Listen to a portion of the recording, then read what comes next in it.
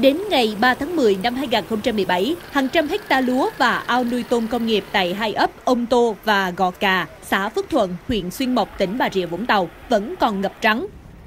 Lãnh đạo xã Phước Thuận cho biết, mưa lớn trong những ngày qua khiến nước sông Kinh, sông Hỏa ở thượng nguồn dâng cao, cộng với việc xả lũ đã làm hơn 200 hecta lúa và gần 200 hecta nuôi tôm công nghiệp tại địa phương bị ngập trắng. Người dân và chính quyền cho rằng đơn vị xả nước lũ không thông báo khiến ruộng lúa, ao nuôi tôm thiệt hại cả trăm tỷ đồng. Trưa cùng ngày, nhiều chủ ao đã phải dùng lưới bao quanh bờ nhằm giảm bớt số lượng tôm trôi theo dòng nước. Một số ít tôm chưa thoát ra ngoài được, chủ ao bắt bán cho các thương lái. Một lãnh đạo xã Phước Thuận khẳng định rạng sáng 1 tháng 10, trạm quản lý khai thác công trình thủy lợi huyện Xuyên Mộc xả lũ khiến vùng nuôi tôm, ruộng lúa của dân ngập. Không có ai thông báo xả lũ cho chính quyền địa phương nên thiệt hại mới nặng nề như vậy.